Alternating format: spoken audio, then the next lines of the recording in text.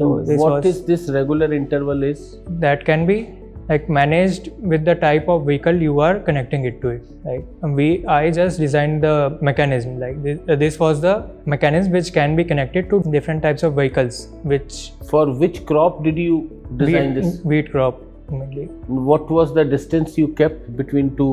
no sir distance was not taken into the account it will be taken into account by when it will be attached to that particular machine What is that machine?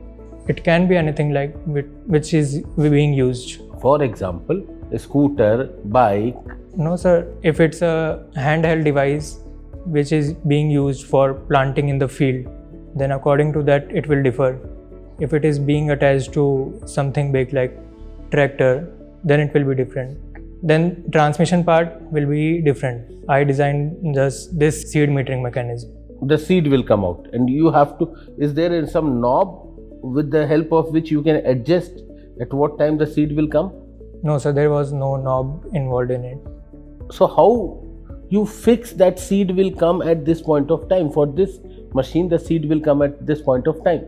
Due to sir gravity, the seeds will be falling I'm more interested in the criteria at what distance the seed will be released. the seed distance at which they will be released sir, these were not kept in the design Okay, that was not part of your goal. Yes, Rather, sir. The seed should come out. That was the part of the goal. You have to decide. yes sir